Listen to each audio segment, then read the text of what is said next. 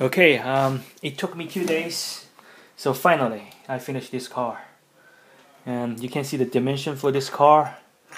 The long of this car is um, 165 millimeter, and the width for this car is uh, 104 millimeter.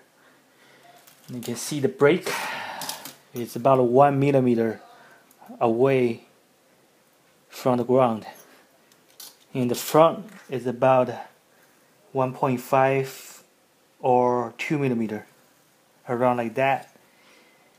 And uh, I'm using the uh, the real sleepy brake.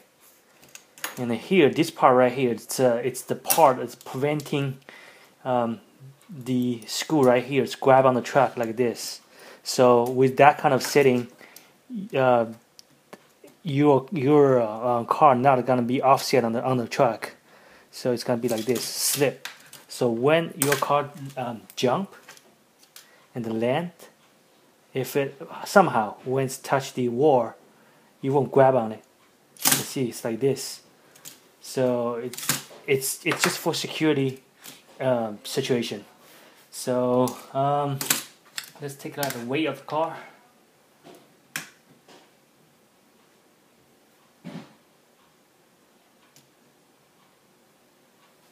Okay, without a battery, this car is about, let me give you better angle, you can see. It's about um, 132 grand.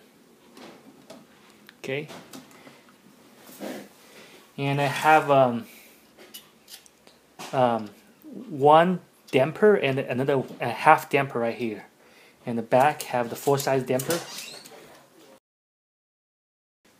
Let's testing landing.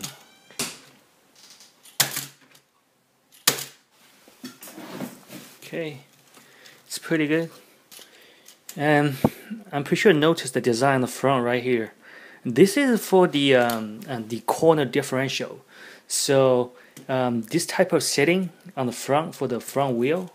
So if you make your tire on the front wheel, it's a little bit like a less contact and um, it's lower resistance. It's get give you better steering on the corner, so it's make your corner turn faster. But uh, for the rear tire, I didn't do that because I need a more grab um, uh, for going um, uphill. So um, anyway, um, so finish here. I hope this car can um, um, work good on the track. So next video I'm gonna do a, a test run on this truck on this car.